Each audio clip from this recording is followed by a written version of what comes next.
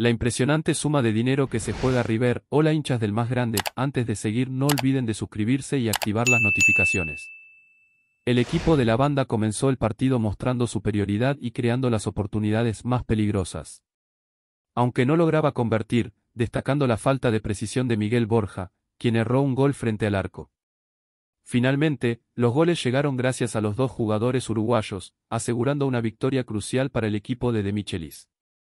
Desde el principio, el más grande sabía que enfrentaría un desafío complicado. El viaje a Venezuela y los antecedentes del rival representaban obstáculos importantes. De Michelis tuvo que armar un equipo adecuado, especialmente después del último partido contra Huracán. El objetivo era claro, ganar como visitante y dejar atrás las derrotas anteriores. Había mucho en juego desde el principio en la fase de grupos. La Conmebol anunció un aumento en los premios de la Copa Libertadores para el año 2024. En total, se distribuirán alrededor de 225.928.000 dólares en todas las etapas del torneo.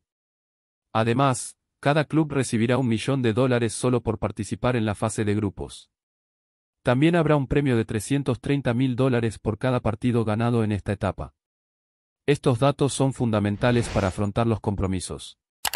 ¿Qué opinan ustedes hinchas millonarios? No olviden de suscribirse, darle me gusta y comentar.